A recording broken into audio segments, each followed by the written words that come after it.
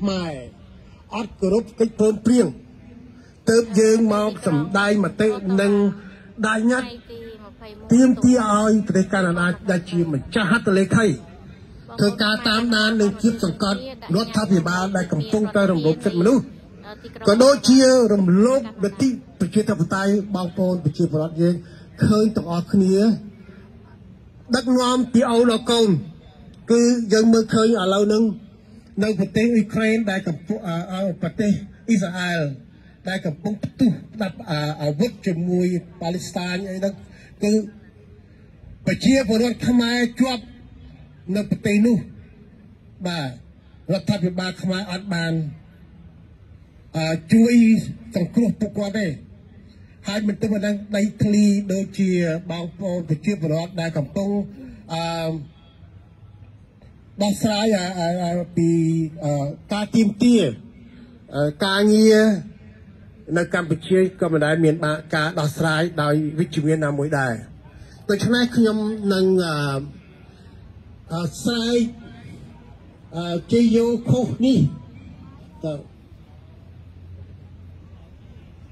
ហ៊ុនសែនត្រូវតែគោរពត្រូវតែគោរពសន្តិសញ្ញាសន្ធិសញ្ញា ទីក្រុងប៉ារីសទីក្រុងប៉ារីសហ៊ុនសែនហ៊ុនសែន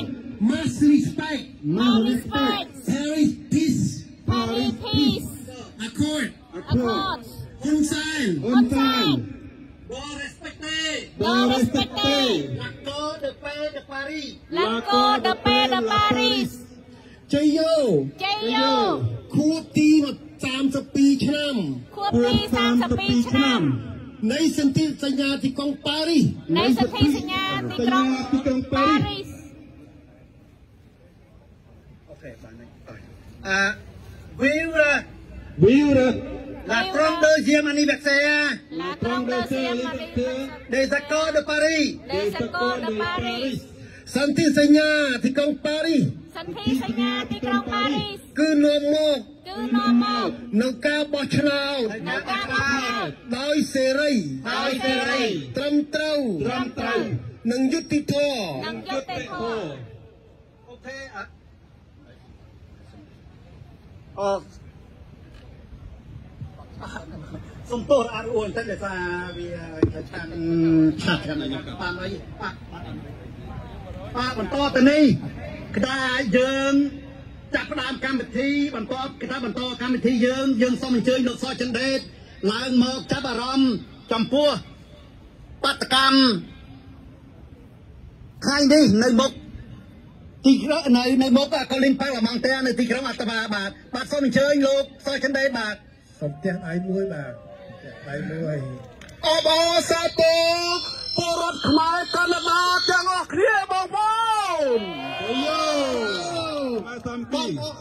សូមជម្រាបសួរបងប្អូនពុកម៉ែដែលកំពុងតែទស្សនាការ live ផ្ទាល់នៅប្រទេសកម្ពុជា យើងដឹងថាបងប្អូននៅខាងក្នុងក៏មានការក្តុកក្តួលក៏មានការគិតអំពីវាសនាអនាគតប្រទេសជាតិយើងគិតអំពីវាសនាអនាគតអូនអូនយុវជនយើង បងប្អូនចង់តបបាទបងប្អូនចង់រំលឹកខួបទីក្រុងប៉ារីសដូចពួកយើងដែរប៉ុន្តែបងប្អូនខ្លាចដោយសារមានជនផ្ដាច់ការមកគ្រួសារមួយនោះចេះតែធ្វើបាបបងប្អូនចាត់ចងបងប្អូន ដោយគ្មានគិតអំពីសាច់ឈាមដូចគ្នាដែលបងប្អូនខ្លះដែលជាយុវជន យុវជនបកឋានដែលការពារផលប្រយោជន៍ជាតិក៏ពួកនឹងធ្វើបាបដោយមិនគិតអ្វីទាំងអស់ឲ្យតែការពារអំណាចរបស់ខ្លួនបានអញ្ចឹងហើយពួកយើងដែលជាខ្មែរភៀសខ្លួននៅក្រៅស្រុកនេះ យើងអត់នៅឈាមទេ យើងអត់ភ្លេចទេទុកលំបាកទុកវេទនារបស់ជាតិយើង យើងជុំគ្នាថ្ងៃនេះដើម្បីបង្ហាញថា ខ្មែរដល់ទីណាខ្មែរនៅច្រកណា នៅលហកណាខ្មែរនៅតែគិតគ្នាខ្មែរនៅតែជួយគ្នាធ្វើយ៉ាងណាឲ្យកម្ពុជាអមតៈបងប្អូនជ័យជ័យោយយោជ័កម្ពុជាយអយោមកម្ពុជាតៈអមតៈតើយើងមកជួបគ្នានេះបងប្អូនឃើញថាតែណាចំនួនប៉ុណ្ណាប៉ុន្តែសម្រាប់ប្រទេសដែលគេជឿនលឿនគឺច្រើនណាស់ពីព្រោះពលរដ្ឋនៅទីនេះបងប្អូនដឹងស្រាប់ហើយ ពេលវេលាគឺជាមាសប្រាក់ម្នាក់ម្នាក់អ្នកខ្លះគេធ្វើជាតកែរេស្តូរ៉ង់គេរកស៊ីមានប្រាក់ចំណូលក្នុងមួយថ្ងៃមួយថ្ងៃរាប់ពាន់ដុល្លារអ្នកខ្លះប៉ុន្តែគេដើម្បីជាតិដើម្បីបងប្អូននៅខាងក្នុងស្រុកដែលកំពុងតែដង្ហើហាវខ្មែរនៅគ្រប់ច្រកលហកលើពិភពលោកឲ្យស្រំលឹងមើលទៅខ្មែរខាងក្នុងស្រុកឲ្យជួយខ្មែរផងបងប្អូន អញ្ចឹងសូមបងប្អូននៅខាងក្នុងកុំបារម្ភកុំអស់សង្ឃឹមពិសេសអ្នកតស៊ូបកប្រឆាំងបកសង្គ្រោះជាតិក្តីបកភ្លើងទៀនក្តីបកដតីក្តីដែលថាមិនគ្រប់គ្រងនឹងបកដាច់ការសប្តាហ៍នេះកុំអស់សង្ឃឹមគឺពួកយើងនៅខាងក្រៅអត់នៅតនេទេយើងអត់នៅស្ងៀមទេ យើងធ្វើសកម្មភាពជារៀងរាល់រដូវជារៀងរាល់ពេលវេលាដែលយើងត្រូវធ្វើអញ្ចឹងហើយបងប្អូនក្នុងស្រុក ថ្ងៃនេះមិនមែនតែកាណាដាទេនៅបារាំងនៅអឺរ៉ុបនៅអូស្ត្រាលីនៅញូហ្សេឡង់ខ្មែរលើពិភពលោកធ្វើកម្មវិធីនេះដើម្បីរំលឹកខួបទីក្រុងប៉ារីសទាំងអស់គ្នាបងប្អូនជ័យយោដោយដែលលោកពុនវណ្ណរិនបានលើកហើយគោលបំណងរបស់យើងធ្វើថ្ងៃនេះគឺយើងមានពីរសំខាន់សំខាន់ប៉ុន្តែពួកយើងនៅក្នុងនេះគឺយើងមាន3ថែទៀត ថាទី1គឺយើងរំលឹកអរគុណបណ្ដាប្រទេសទាំងឡាយនៅលើពិភពលោកដែលបានជួយផ្ដួចផ្ដើមបង្កើតឲ្យមានកិច្ចព្រមព្រៀងទីក្រុងប្រេសទីក្រុងប៉ារីសនាំឲ្យកម្ពុជារួចផុតអំពីសង្គ្រាមស៊ីវិលខ្មែរនិងខ្មែរសម្លាប់គ្នាអានេះយើងអរគុណដែលគេបានបញ្ចប់សង្គ្រាមស៊ីវិលនៅប្រទេសយើងទី2គឺយើងមកប្តឹងពីព្រោះប្រទេសកាណាដានេះគឺជាប្រទេសហត្ថលេខីទីក្រុងប៉ារីសដ៏សំខាន់បំផុត សម្រាប់ប្រទេសជាតិយើងហើយនៅក្នុងលក្ខខណ្ឌកិច្ចព្រមព្រៀងទីក្រុងប៉ារីសគេដាក់កតាបកិច្ចឲ្យប្រទេសហត្ថលេខីអ្នកឯងសញ្ញេហើយអ្នកឯងត្រូវទៅជួយអភិវឌ្ឍខ្មែរអ្នកឯងត្រូវជួយមើលរដ្ឋាភិបាលខ្មែរឲ្យដើរទៅតាមគន្លងប្រជាធិបតេយ្យកុំឲ្យធ្វើបាបពលរដ្ឋខ្មែរកុំឲ្យសម្លាប់ប្រជាធិបតេយ្យឥឡូវយើងមកប្តឹងថាណាអ្វីណាដែលអ្នកឯងបានចុះហត្ថលេខា អ្វីណាអ្នកឯងបានខិតខំចំណាយធនធាននៅកាណាដានេះកាលពីអ៊ុនតាក់គឺកាណាដាបាននាំទៅហ៊ានទៅដែរហើយទៅហ៊ានកាណាដានេះក៏មានរបួសដោយសារទៅរកសន្តិភាពឲ្យខ្មែរដែរអញ្ចឹងកាណាដាមិនអាចបង្ហូរឈាមយុទ្ធវិជនរបស់ខ្លួនទៅហ៊ានរបស់ខ្លួនដោយមិនគិតអំពីផលប្រយោជន៍ដែលបានដែលបានកសាងឡើងទេខ្ញុំជឿថាកាណាដាគេនឹងគិតអ្វីដែលគេបានកសាងអញ្ចឹងយើងមកប្តឹងគេ ថារាល់ថ្ងៃនេះនៅកម្ពុជាជនក្បត់ជាតិជនផ្ដាច់ការហ៊ុនសែនតកូលហ៊ុន កំពុងតែសម្លាប់ប្រជាធិបតេយ្យកំពុងតែមើលងាយអ្នកម្ចាស់ហាត់លេខីទាំងអស់គ្នាលើពិភពលោកបងប្អូនបរាជ័យ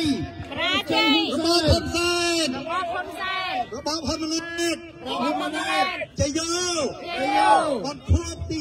32បន្ខួបទី32នៃសន្ធិសញ្ញាទីក្រុងប៉ារីសនៃសន្ធិសញ្ញាទីក្រុងប៉ារីសទី 3គឺយើងមកជួបគ្នានេះដោយខ្ញុំបាននិយាយពីដើមមិញហ្នឹងគឺដើម្បីបង្ហាញកម្លាំងសាមគ្គីខ្មែរថាខ្មែរនៅលើពិភពលោកនេះគឺអត់មានមកដល់កន្លែងសុខហើយសន្តិភាពហើយប្រទេសនេះបងប្អូនឃើញណាគឺវាមានរដ្ឋសភាគេអត់មានកន្លែងណាសរសេរអរគុណសន្តិភាពទេប៉ុន្តែប្រទេសគេសន្តិភាពពិតប្រាកដសន្តិភាពពេញលេញសន្តិភាពត្រឹមត្រូវ អភិវឌ្ឍត្រឹមត្រូវដែលនាំមកផលប្រយោជន៍ជូនប្រជាពលរដ្ឋទេប៉ុន្តែអត់មានកន្លែងណាមួយទៅសេអរគុណសន្តិភាពទេហើយនៅកន្លែងនេះគឺកដាលបេះដូងរបស់ប្រទេសកាណាដាគឺជាបេះដូងប្រទេសកាណាដាអញ្ចឹងហើយបងប្អូនមើលថ្ងៃនេះគេមានបាតកម្មការទៀមទា3សាសបើតាមដឹងមាន3សាសមានកម្ពុជាផងមានប្រទេសពីរទៀតខ្ញុំមិននិយាយឈ្មោះប្រទេសគេតែរឿងរបស់របស់គេព្រោះគេគិតពីប្រទេសជាតិរបស់គេដែរ អញ្ចឹងហើយគេការពារសន្តិសុខសวัสดิភាពគេឲ្យតម្លៃយើងដែលចេះតស៊ូដើម្បីរកសន្តិភាពជូនប្រទេសជាតិរបស់ខ្លួនសញ្ជាតិរបស់ខ្លួនមិនមកសងំសុខតែខ្លួនឯងទេគឺថាមកសុខហើយស្រួលហើយប៉ុន្តែនោះខ្មែរវាអត់ស្រួលខ្មែរវាអត់សុខ ខ្មែរវានឹងអាលាយអញ្ចឹងបាទពួកយើងថាយើងមកថ្ងៃនេះ លក្ខខណ្ឌគោលបំណងទី3របស់យើងហ្នឹងគឺដើម្បីជូនសារឲ្យពលរដ្ឋនៅក្នុងស្រុកអ្នកតស៊ូក្នុងស្រុកកុំភ័យខ្លាចកុំតក់ស្លុតកុំចុះចាច់គ្រាន់តែបងប្អូនមិនអាចធ្វើដោយពួកយើងបានបងប្អូនមិនបាច់ធ្វើទេបងប្អូនធ្វើតាមរូបភាពផ្សេងពីព្រោះឃើញគណៈបកផ្សេងផ្សេងហ្នឹងតែគេមិនគ្រប់គ្រងហ៊ុនសែនហ្នឹងមានកើតឡើងថ្មីថ្មីច្រើនណាទៅចូលរួមទៅទៅបោះឆ្នោតទៅពិសេស បាក់ភ្លើងទៀនហ្នឹងគឺយើងឃើញថាមានឆន្ទៈល្អមានចំហល្អអ្វីដែលភ្លើងទៀនធ្វើយ៉ាងម៉េចទៅតាមហ្នឹងទៅយើងកុំអស់សង្ឃឹមរឿងមួយទៀតគឺផ្ញើសារទៅហ៊ុនសែនត្រកូលក្បាត់ជាតិកុំអោកុំថាខ្លួននឹងរស់អមតៈកុំថាប្រទេសកម្ពុជាហ្នឹងគឺជាកម្មសិទ្ធិរបស់ខ្លួន កម្ពុជាគឺជារបស់ពលរដ្ឋកម្ពុជាទាំងអស់អញ្ចឹងมันអាចឲ្យត្រកូលក្បាត់ជាតិហ៊ុនសែនយកកម្ពុជាទៅកាត់ច្រាមអង្គកាន់លក់តាមចិត្តអញ្ចឹងទេពួកយើងនៅខាងក្រៅស្រុកយើងធ្វើគ្រប់ទម្រង់ស្របច្បាប់ដើម្បីយកកម្ពុជា ប្រគល់ជូនពលរដ្ឋកម្ពុជាយើងវិញបាទចយកកម្ពុជាអមតាជយោហើយចង់បញ្ចប់គឺថាខ្ញុំសូមអរគុណ បងប្អូន ដែលបានលះបង់ចំណាយពេលវេលាចំណាយធនធានមកចូលរួមថ្ងៃនេះ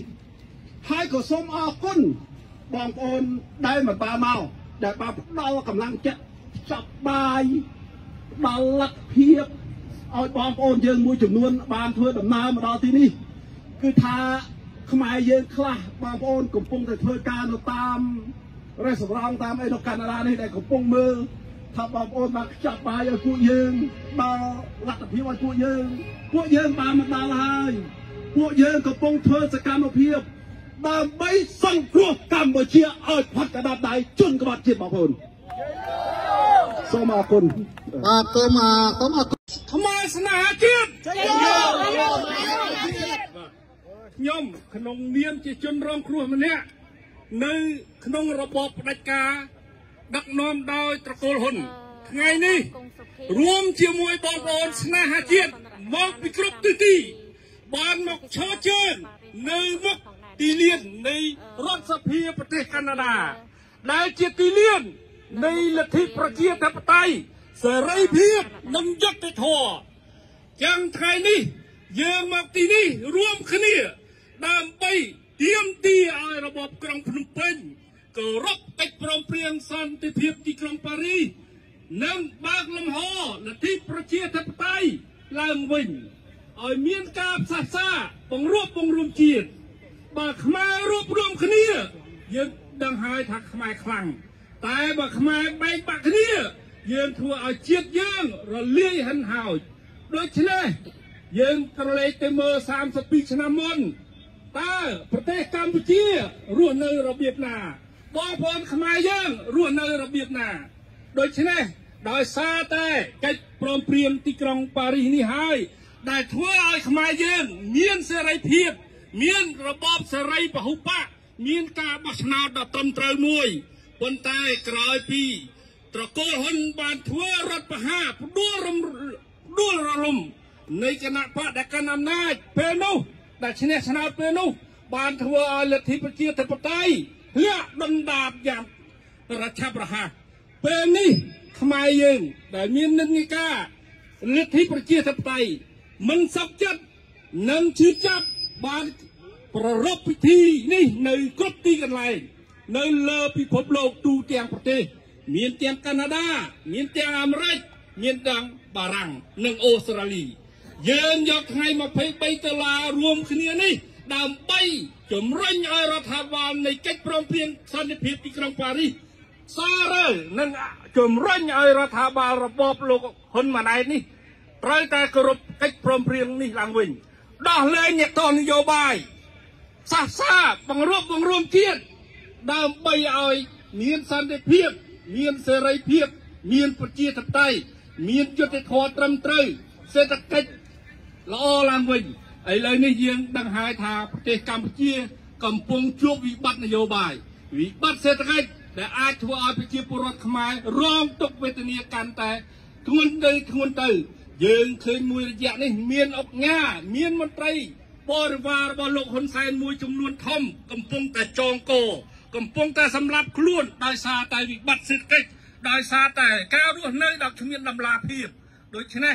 យើងទាំងអស់គ្នា រួមគ្នាជាចិត្តមួយថ្លើមមួយ ដើម្បីទៀមទាឲ្យមានបើកលំហប្រជាធិបតេយ្យឡើងវិញថ្ងៃនេះខ្ញុំក្នុងនាមជនរងគ្រោះបងបងប្អូនដឹងហើយថាកាល23ដុល្លារ2015យើងបានប្រារព្ធពិធី23ដុល្លារនៅខេត្តកំពង់ស្ពឺ3ថ្ងៃក្រោយមកខ្ញុំគង់សភាត្រូវបានគេវាយនៅមុខមន្ទីររដ្ឋសភា ខ្ញុំចាំមិនភ្លេចទេការឈឺចាប់មួយនេះ ដែលរបបមួយដែលដឹកនាំដោយនាយករដ្ឋមន្ត្រីហ៊ុនសែនដែលជាបរិះដ៏សាហាវខូខើបញ្ជាកងអង្គរៈមកវាយធ្វើបាបខ្ញុំយ៉ាងខូខើជាមួយឯអាដាមញយចម្រើនបរាជ័យនៅផ្លូវការហ៊ុនសែនបរាជ័យដូច្នេះយើងសូមរំលឹកនៃការឈឺចាប់នេះផងដែរសូមឲ្យទម្លាក់ចោលនៅគំនុំគុំគួនទាំងឡាយ ហើយងាកមកសាសនាជាតិបង្រួបបង្រួមជាតិដើម្បីខ្មែរទាំងអស់គ្នាដើម្បីមាតុភូមិកម្ពុជាដល់កំសត់របស់យើងដូច្នេះសូមឲ្យនាយករដ្ឋមន្ត្រីថ្មីដែលជាកូនដែលឡើងតាមឪពុកបន្ទប់ឡើងនេះសូមឲ្យមានស្មារតីឲ្យមានស្មារតីចេះបង្រួបបង្រួមជាតិក្នុងជាក្នុងនាមជាយុវជនដែលខ្លាយជាអ្នកដឹកនាំត្រូវតែមានស្នាដៃបង្រួបបង្រួមជាតិជាគំរូ ឲ្យប្រជាពលរដ្ឋខ្មែរគោរពនិងដើរតាមដូច្នេះខ្ញុំសូមអំពាវនាវហើយអំពាវនាវទៀតសូមឲ្យម្ចាស់ហត្ថលេខីទាំងអស់ជុំវិញពិភពលោកដាក់ការគៀបសង្កត់លើរបបដឹកនាំរបស់លោកហ៊ុនម៉ាណែតនេះឲ្យបានកាន់តែខ្លាំងក្លាបំផុតជ័យយោលទ្ធិជាតិតៃជ័យយោជ័យយោខ្មែរស្នេហាជាតិជ័យយោបាទមុនបន្តកម្មវិធីយើងសូមថ្លែងជ័យឆ្លងបាទអញ្ជើញមកអរគុណ បាទបាទហ៊ុនសែនត្រូវបញ្ចូល23ដុល្លារជាបនជាតិវិញជាបនជាតិវិញការបោះឆ្នោតដោយសេរីនិងយុត្តិធម៌ជាគ្រឹះរបស់សង្គមជាគ្រឹះរបស់សង្គមប្រជាធិបតេយ្យកិច្ចព្រមព្រៀងទីក្រុងប៉ារីស ជាកំណើតទី2ជាកំណើតទី2នៃប្រជាធិបតេយ្យខ្មែរនៃប្រជាធិបតេយ្យខ្មែរជ័យយោកិច្ចព្រមព្រៀងទីក្រុងប៉ារីសជ័យយោជ័យយោកិច្ចព្រមព្រៀងទីក្រុងប៉ារីសបន្តពីបងប្អូនស្រ័យថាហ៊ុនតកូលហ៊ុនស្រ័យបងហ៊ុនហ៊ុនបាទខ្ញុំនិយាយខ្ញុំអានពាក្យគ្រាមួយហើយបងប្អូនជួយស្រ័យថាកូលហ៊ុន បាទអ្នកណាសម្រាប់ប្រជាធិបតេយ្យអ្នកណារំលើងសិទ្ធិមនុស្សរកោហ៊ុនអ្នកណាបិទទ្វារគណៈបកព្រមទៀនរកោហ៊ុនអ្នកណារំលាយគណៈបករកោហ៊ុនរកោហ៊ុនអ្នកណាបើកដៃឲ្យអក្រិតជនចិនចូលកម្ពុជារកោហ៊ុនអ្នកណាបង្កើតគណៈបកអំពើអំពើប្រកោហ៊ុន អ្នកណាបង្កើតពុករលួយជាប្រព័ន្ធប្រកោហ៊ុនបាទសូមអរគុណបាទបាទបន្តទៅនេះសូមលោកមុតរ៉ាត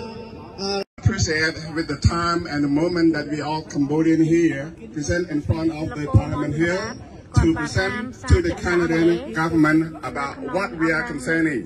Right now, as the statement from the Cambodian embassy they have declared very clear that they have never been recognized the government of Cambodia after the election in Cambodia in July 20, 2023. As what we say that this is really one of the main benchmark that Canada has recognized the, the reality in Cambodia that Cambodia has never been officially or legitimately the government of the country. Within this uh, platform, I also would like to express our concern and also appreciate with the Canadian government that during the UNTAC time, because Canadian is one of the signatory to the, to the peace agreement in 1991. However, during the peacekeeping force, Canadian also sent troops and technicians to Cambodia to facilitate and coordinate the uh, ceasefire in Cambodia. But as far as Cambodian remember, at least one army has been sacrificed per life in the front line in Cambodia, fighting with those groups who are already been known as a group of Hun Sen. Anyway, today I would like to take opportunity to speak out or to raise all the concern that we we are putting a petition that we want Canadian government to listen to us and also to accept to acknowledge what we are doing right now. October 21st, 2023, statement on the 32 anniversary of the Paris Peace Agreement of 9, uh, 23rd October 1991.